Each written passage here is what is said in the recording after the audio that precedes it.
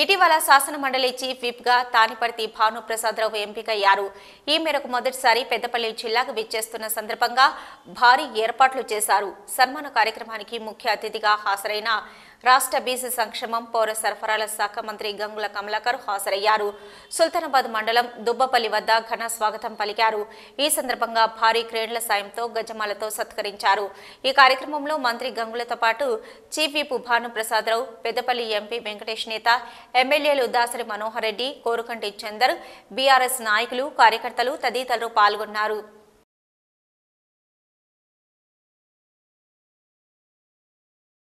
ఉమ్మడి కరీంనగర్ జిల్లా ఉన్నప్పుడు D three canal D six రెండు కెనాల్ ఈ D three canal D six canal మొత్తం కూడా ఇక్కడ ఉన్న పెద్దపల్లి జిల్లాకు మాత్రము నీరు అందిస్తుంది. నేను చాలా సార్లు కూడా వచ్చిన.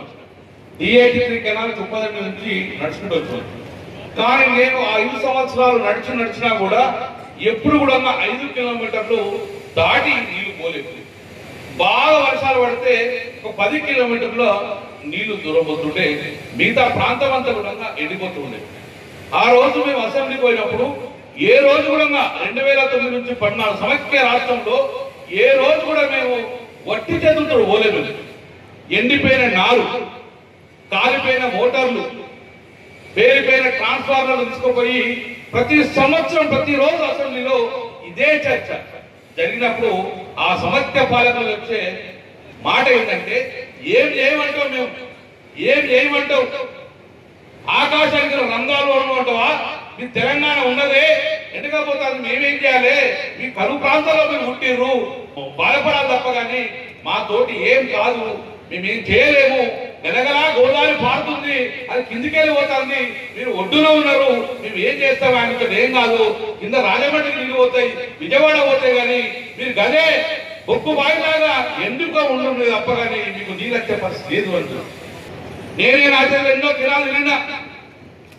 తండ్రి మాకు నీళ్ళు ఇవ్వమంటే కూడా ఇచ్చే పరిస్థితి లేదు. కనీసం బావి నవ్వుకుంటాం దాని పైసలు ఇవ్వమని ఇచ్చే పరిస్థితి లేదు. కొత్త కొత్త కండిషన్లు పెట్టుకొని ఆ సమైక్య పాలకులు ఒకటే అంటుంది ఈ తెలంగాణ ప్రాంతం అంతా కూడా ఎడారి ప్రాంతంగా ఉండాలి. మనకు బానిసలా ఉండాలి. ఉక్కు బావి మీద ఆధారపడి ఉండాలి. తెలంగాణ పంట ఎక్కడ కానీ పంట నేర్పడలేక అని చెప్పేసి ఎగిరిగా రెండు వేల తొమ్మిది రెండు వేల పద్నాలుగు వరకు నేను